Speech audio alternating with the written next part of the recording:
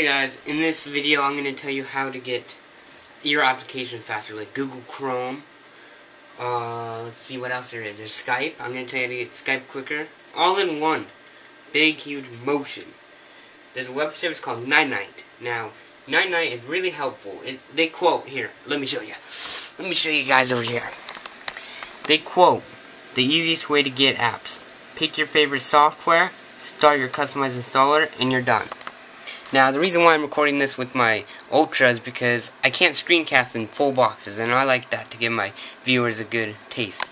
So, right here, you can see what they say. Pick your software. Web browsers, Chrome, Safari, Opera, Firefox, Messaging, Skype, Messenger, Pidgin, Digsby, Google Talk, and all kinds of stuff. And then media, the Hulu desktop applications down there.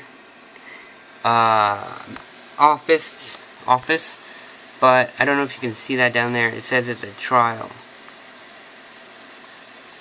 But that's pretty cool. And you can get security and all kinds of stuff.